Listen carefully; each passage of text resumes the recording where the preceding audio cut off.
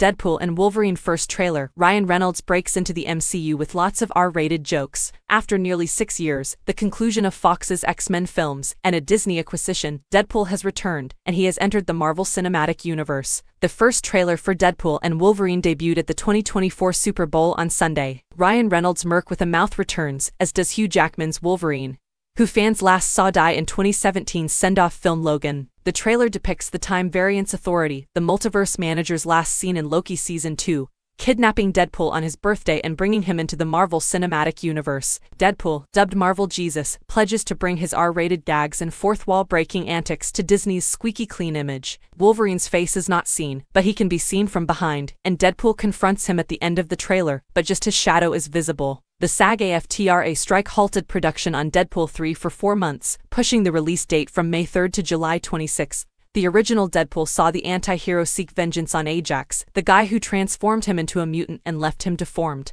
The second installment centered on Deadpool assembling the X-Force team to confront time-traveling Soldier Cable. When film was released in 2018, Deadpool 2 shattered records by opening with $18.6 million at the North American box office. Two years ago, Deadpool debuted domestically with $132.4 million, a record for an R-rated film. In an editorial for Esquire, Deadpool 3 director Shawn Levy said that the future picture will include an homage to the Star Wars genre. For one key scene in the film, I told my stunt and action team, guys, this is the Jedi moment. Levy writes, I pulled up that scene of Vader and Luke on my phone and restudied how it was photographed, blocked, framing, and tempo. The observant Star Wars fan will notice a shot in my Deadpool film that was inspired by a scene I witnessed in a theater decades ago. That is a memory that will last forever, and that is a gem. The experience that I'm currently having with Marvel on Deadpool is showing me firsthand that it is truly possible to feel empowered and personal about making a film within a universe that is larger than any single film, he stated. My Deadpool movie is turning out to be exactly what Ryan and I had hoped when we started off.